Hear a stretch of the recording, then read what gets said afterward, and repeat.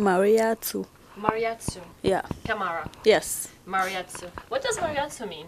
Ah, I don't know. Seriously. Mariatu it's- it's a Kamara is a timid, tiny young woman. She hides her arms underneath her shawl. Mariatu keeps her arms close to her chest as if she's holding herself. She's embarrassed.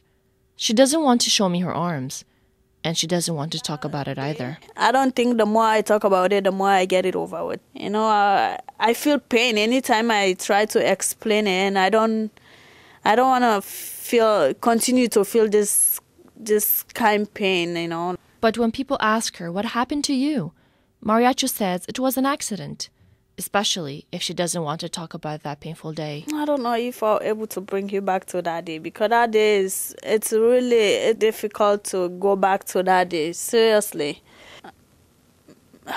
I don't know what to say. I just it's too disturbing. Just imagine in that age, twelve year old, it's difficult.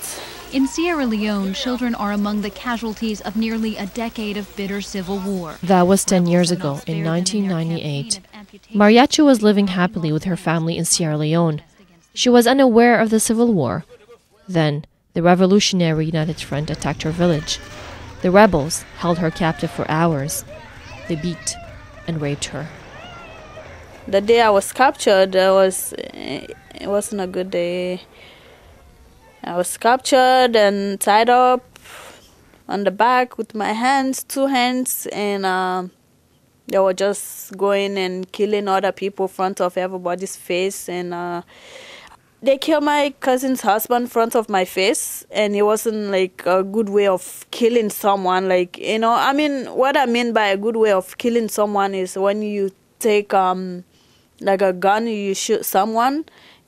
I think I'll prefer that way better than you know holding someone and chopping them off. Like you know, they're chopping off the the meat and While the person is still alive. yeah, while the person is still alive. Yeah.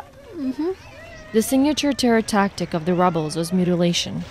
During the 10 year conflict in Sierra Leone, an estimated 20,000 civilians had their arms, legs, lips, and ears amputated by machetes and axes.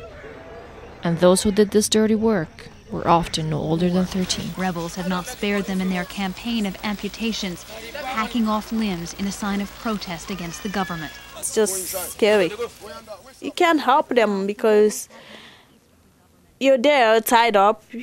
You're not supposed to cry. You're not supposed to say a word. I mean, I mean, you just think that okay, I'm gonna, I'm gonna be next. And she was next. Three child soldiers pinned Mariatu to the ground. As one of them put a gun to her head, another one extended her arms, and a third one held up a machete. The only choice they gave her was which hand she wanted cut off first.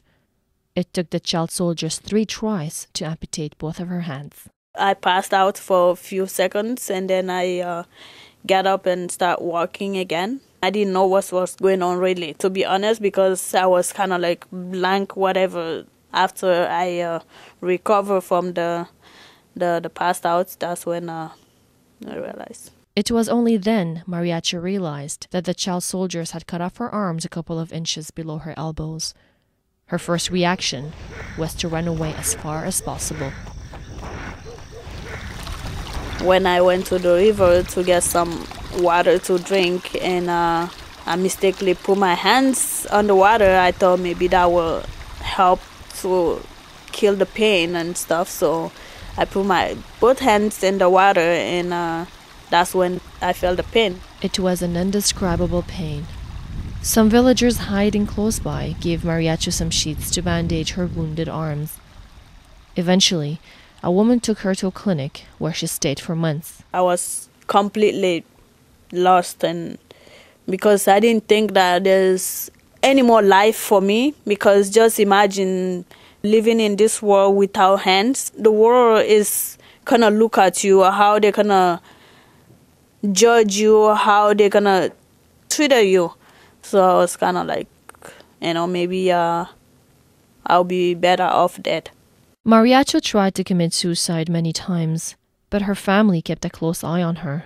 She slowly learned how to deal with the loss of her hands and forearms, but even 10 years later, those dreadful images still haunt her. I don't know. It's my hands that is missing in my life. That's the thing that is making me not complete happy. I'm trying to forget about it, but at the same time, I can't because you know I have the picture right in front of me, and anytime I see my hands, it, it gives me the the whole picture back. A picture of violence and hatred that Mariatu Kamara still can't escape from, even though she now lives in Canada. She came to Toronto with the help of a Canadian journalist. He found out about her and sponsored her six years ago. Now, she lives with a family who also comes from Sierra Leone. These days, she goes to university, and she says there's one thing she's grateful for her independence. I cook. I know it's hard to believe, but I do. I get dressed on my own, take my bath for myself, put on my clothes, put on my makeup.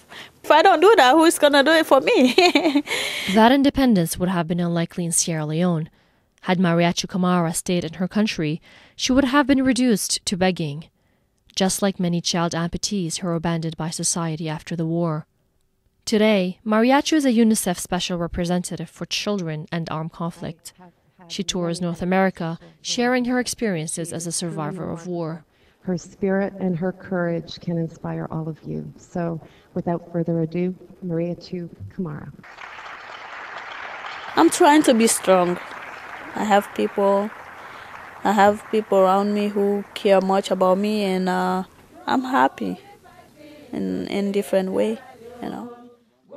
After talking about herself and telling her story, Mariatu relaxes and lets her shawl slip from her shoulders, finally revealing her arms and the heel stumps below her elbows.